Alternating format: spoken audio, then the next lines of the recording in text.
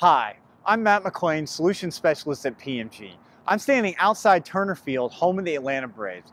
For the past two decades, the Braves in the regular season have made sure they check the boxes next to hitting, pitching, and fielding, which allows them to show up during the postseason. However, when the playoffs start, all those boxes become unchecked and they disappear from the championship hunt. Likewise, in PMG's service catalog tool, you can have checkbox lists drive hide show rules and questions based off of that. Let's check it out.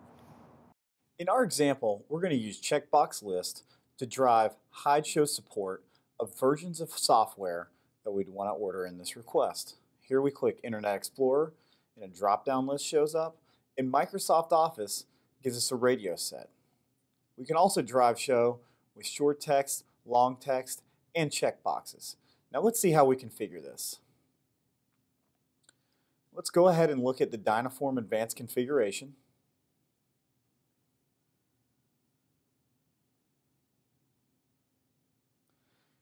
First, we're going to just go ahead and set up our checkboxes. Here's the list of software that we have.